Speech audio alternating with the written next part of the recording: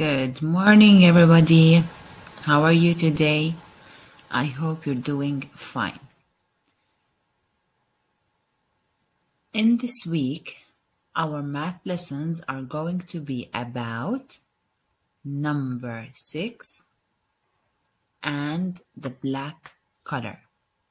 As you can see here, we have number six and here we have the black color.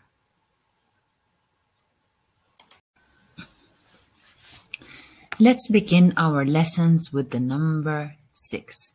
As you can see here, this is number 6.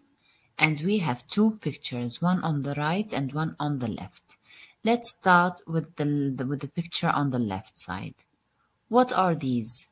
These are fans. They have different colors yellow, green, blue, purple, red, and orange. Now let's try to count the fans. One, two, three, four, five, and six. So we have six fans. Let's move to the picture on the right. What are these? These are donuts. Do you love to eat donuts? Mm, yummy in my tummy. Okay, net, now let's count the donuts that we have.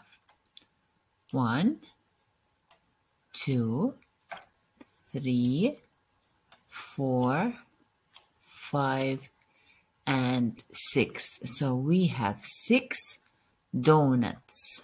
Now let's learn the right formation for number six.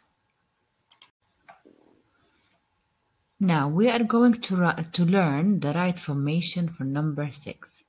As you know, we always start from the top. We go to the left and then we go down and then we close the circle and this is the way we write number six. Again we start from the top to the left side down then we make a circle. Again from the top to the left side then round and we close the circle. And this is the right formation for number six And now let's begin with the other lesson. As you can see, what's this color?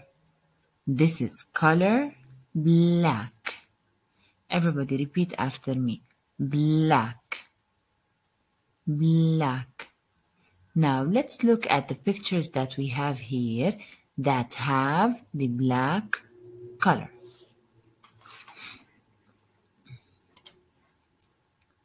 What's this? This is a hat. And what's the color of the hat? It is black. Let's take a look at this. What are these? These are sunglasses. And what's the color of the sunglasses? It is black. Now, what's this? This is a cat. And what's the color of the cat? It is black. Take a look at this. This is a bird. What's the color of the bird?